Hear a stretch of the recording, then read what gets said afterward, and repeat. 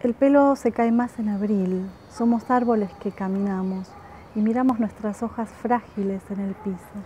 Acá dentro de este que les habla, vive una ardilla que acopia y taladra y una colonia de loros gritones que entran y salen, no paran.